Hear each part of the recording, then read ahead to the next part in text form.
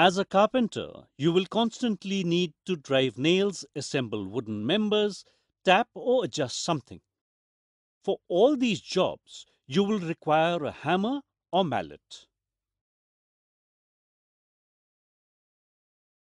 After completing this session, you will be able to identify the various hammers and mallets.